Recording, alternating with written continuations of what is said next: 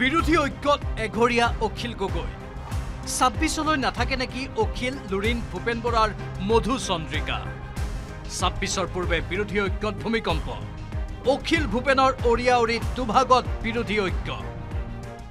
বিৰোধী ঐক্য মঞ্চ মানে এনেকুৱা নহয় যে চব কথা আমি প্ৰত্যেকটো কথাই প্ৰত্যেকজনৰ লগত একেবাৰে এশ শতাংশ মিলিব। ক'ৰবাত ক'ৰবাত মতবিৰোধ হ'ব পাৰে। মানে একাষৰীয়া হৈ গৈ আছোঁ বুলি আমি ভাবিব পাৰোঁ। সেইটো মই নকওঁ।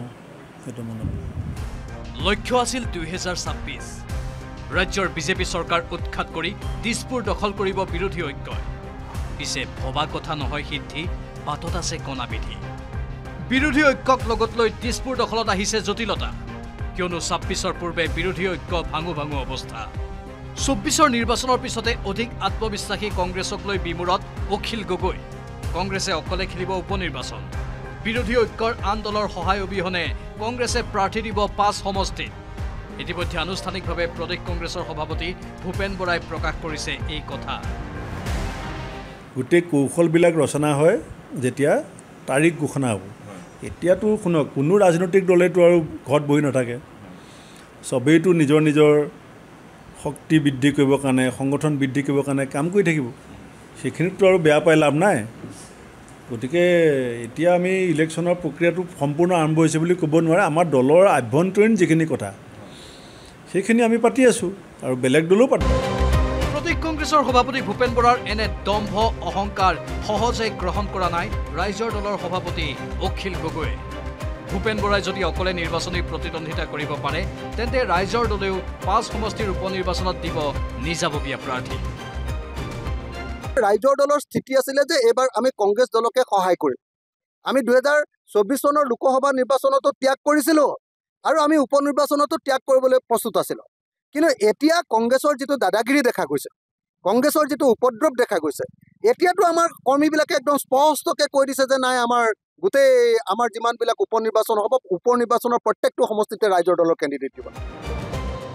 অৰ্থাৎ এটা সমষ্টিত বিজেপি প্ৰাৰ্থীৰ বিপৰীতে বিৰোধী ঐক্যৰ হ'ব দুই বা তিনিগৰাকী প্ৰাৰ্থী। চি পি আই এমৰ স্থিতি এতিয়াও স্পষ্ট নহয়। তেনে সময়ত এতিয়া বিৰোধীৰ এটাও ভোট বিভাজন নোহোৱাৰ লক্ষ্যৰে গঠন হোৱা বিৰোধী ঐক্যৰ ক'ত থাকিল গুৰুত্ব? নে আগতীয়া কিছু বাক বিতণ্ডাৰে বিৰোধী ঐক্যৰ পৰা আঁতৰ কৰিব বিচৰা হৈছে অখিল গগৈ? কিয়নো বিৰোধী ঐক্য গঠনত প্ৰথমে অধিক সক্ৰিয়তা দেখা গৈছিল অখিল গগৈৰ। সেয়ে সদ্য সমাপ্ত নিৰ্বাচনত কংগ্ৰেছৰ বহু নেতাৰ বিৰুদ্ধে দলৰ হৈ কাম নকৰাৰ অভিযোগ দিছিল অখিল গগৈয়ে। দলৰ হৈ কাম নকৰা অথবা দলক লেং মৰা এনে নেতাৰ বিৰুদ্ধে। অভিযোগ দাখিলৰ সময়ৰ পৰা অখিলৰ বিৰুদ্ধে সৰব প্ৰদেশ কংগ্ৰেছৰ সভাপতি ভূপেন বৰা।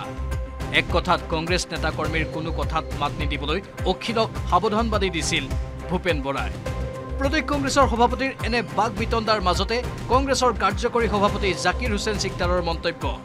প্ৰয়োজনতকৈ অধিক কৰে অখিল গগৈয়ে। অখিলৰ কৰ্মকাণ্ডত অসন্তুষ্ট কংগ্ৰেছ কৰ্মী। মাননীয় অখিল গগৈ ডাঙৰীয়াই সংবাদ মাধ্যমত যেনেকৈ কথা বাৰ্তাবোৰ কৈছে সেই কথা বাৰ্তাবোৰত কংগ্ৰেছ পৰিয়াল কিন্তু সুখী নহয়। ক'ৰবাত না ক'ৰবাত কংগ্ৰেছ পৰিয়ালে তেখেতে অকণমান বেছি কোৱা যেন অনুভৱ কৰিছে প্ৰতিজন কংগ্ৰেছ কৰ্মীয়ে। কিন্তু আমি কংগ্ৰেছ দল অখিল গগৈ ডাঙৰীয়াৰ লগত আলাপ আলোচনা কৰি যি বন্ধু আছোঁ সেই বন্ধু হৈ থাকি আহি থকা দিনত কাম কৰিম। আমাৰ বন্ধুৰ চৰিত্ৰ দুজনৰ যদি ঠিক ঠাক থাকে। কংগ্ৰেছ নেতাৰ এনে মন্তব্যৰ পৰা এটা কথা স্পষ্ট অখিলক লগত লৈ বিবোধিত এতিয়া কংগ্ৰেছ। প্ৰথমে আদৰ সাদৰেৰে বিৰোধী ঐক্যত লগ দিয়া অখিল এতিয়া মিত্ৰতাৰ পৰা আঁতৰিলে যেন ভাল পায় কংগ্ৰেছৰ বহু নেতাই। অৱশ্যে ভূপেন বৰা জাকিৰ হুছেইন চিকদাৰৰ মন্তব্যৰ বিপৰীতে মিত্ৰজোঁটক লৈ নৰম স্থিতিত সাংসদ গৌৰৱ গগৈ। গুৱাহাটীত শীঘ্ৰে বৈঠকত মিলিত হোৱাৰ কথা ক'লে সাংসদগৰাকীয়ে। প্ৰথমে আলোচনা হওক। আলোচনাত আমি মিত্ৰতা কেনেদৰে আমি আগুৱাই লৈ যাম বা কেনেদৰে আমি দলটোক শক্তিশালী কৰিম এইটো আলোচনাটো হৈ লওক। এতিয়া আলোচনা নোহোৱাকৈ আমি একো কথা ক'ব নোৱাৰোঁ। বলেন ভট্টাচাৰ্য আৰু Hirakjyoti মালাকাৰৰ report news eighteen Assam north east.